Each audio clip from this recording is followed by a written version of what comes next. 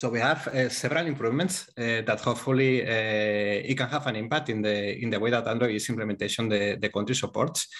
And first of them is the something that has been uh, requested by the community uh, for for a long time now. That is the support for uh, multiple users uh, using the same Android application, right?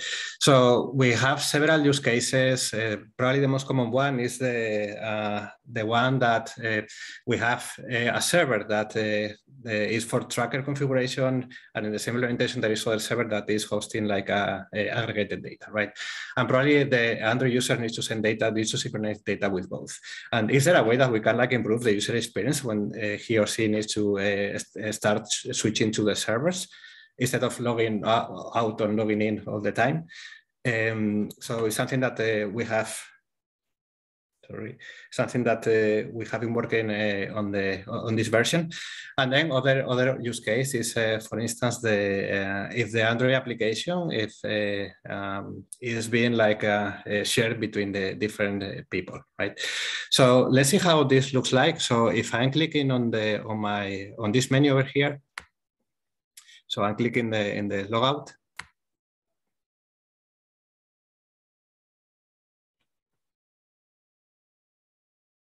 Okay, so now uh, we can see that this is having like one user that uh, is trying to secret, that has an account linked to uh, different servers and recurrent and 236. And also this is the same user, but also we have another user, right? Uh, pointed to uh, the other current server. So we have three three accounts, and something that I forgot to mention at the beginning is like a, uh, we have like a maximum number of accounts allowed per application of three. Okay, so if you see that this button over here, the add account is like disabled because uh, we have reached the, the already the maximum. So now if I click on Android, so uh, it's going to of course, it's going to show me the, the, the password. Uh, I need to I, I, need to fill the password in order to log in uh, with the with the server. Uh, and I have this button over here, also the manage accounts, that basically this button allows me to, uh, to uh, navigate the different user Android accounts that I have. Uh, so let's click on this button, and then I'm going to select this one. Okay, I'm going to select this one, and I'm going to, it's asking for the password, so I'm going to introduce my password, test 2022. Okay, and something that is important is like so far till now, uh, anytime that the user uh, needs to log in, uh, the user needs to be on, in online mode, right? But now, uh, as anytime that the user is logging in the system, so the, the credentials are being stored in the local database. So now that needs to happen, that doesn't need to happen anymore. So basically, let me show you how it looks like if I am disconnecting my, uh, my device from the internet.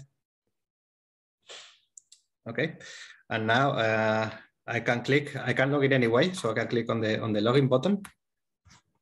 Continue. Okay, and without internet connection, now I can like uh, uh, I can have access to the application.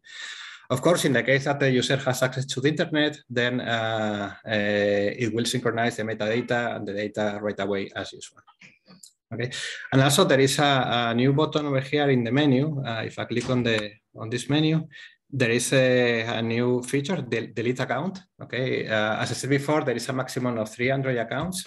Uh, so if you want, you can like remove the current account, and then if you click here, after you confirm, this it will remove your account and will like redirect you to the login screen, and then you have to again uh, introduce the username and password as, as usual. Okay, so I'm going to cancel it and I'm going to connect because I'm going to need it for the demo uh, again my device to, to the Wi-Fi.